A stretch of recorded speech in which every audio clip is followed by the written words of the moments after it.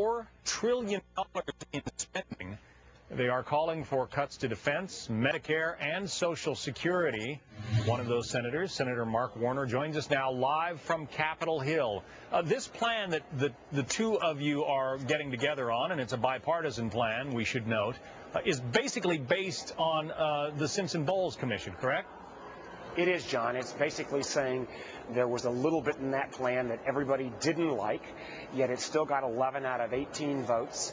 And what we hear uh, in terms of, uh, of the Presidential Commission, and what we hear a lot of here is rhetoric up here about cutting the deficit. This we thought was at least a good starting point. A year had work had gone in it. It is both deficit reduction and tax reform, two of the three legs of the stool that I think we need to address because we've got to cut our spending, we've got to reform our tax code, and we've got to have an innovation and growth agenda for our whole country moving forward.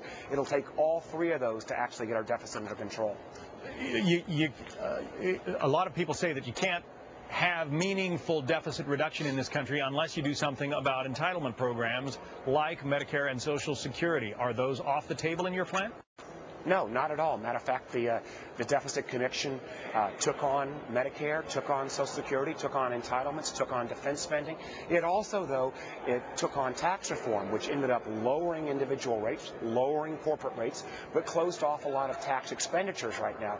I don't think most Americans realize that we actually spend more on tax expenditures or tax breaks than we collect in personal income taxes each year. So that has to be on the table as well. Yeah, so simplifying the tax code would be a big right. part of what you want to do?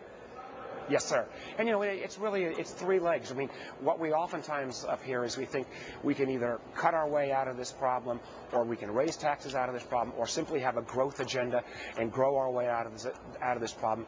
My belief is it's going to take all three. And if you talk to anybody in the business community who is actually about creating jobs, they realize as well it's going to take all three, a growth agenda as well. Well, everybody talks about cutting spending, but when the rubber meets the road, nobody wants to actually cut some of these programs that are so popular popular, and I know you're already getting pushback from the National Association of Home Builders, for instance, on the mortgage deduction plans.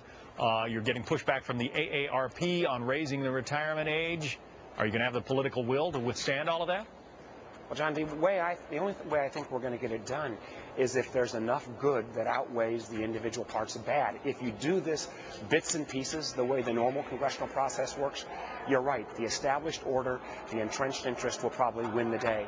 If at the end of the day, though, we all kind of link arms in a bipartisan way and say we're going to take this mighty jump, and I think the American public would back that, I think we can get something done. That's you, my hope this year, and that's why Saxby Chambliss and I have, have uh, joined forces with a whole lot of other senators I might add. Yeah, close to 20 plus, and we're saying let's start, let's take this document as a starting point and go from there. All right. Uh, so let's say you've got 20 or more senators who are ready to make that jump with you. You think you can convince the American people that it's a good jump to make?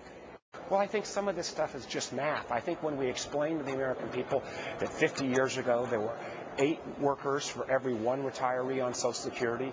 And now with our aging population, there's only two workers for every retiree. That means at some point it's got to break. You've got to end up reforming the system. And we can either wait till 2037 when we hit a crisis, or we can do it now and phase this in over a 30-year period, which I think most Americans would agree on. It's not a question of if we're going to do deficit reduction. It's only a question of when. Are we going to do it on our timetable, or are we going to wait till the financial markets to dictate to this to that. To Senator us. Senator Mark Warner is a Democrat from Virginia, joining with a Republican from Georgia, Saxby Chambliss, to uh, introduce that legislation that he's just been telling us about. Senator Warner, thanks for being with us today. Thanks for having me, John.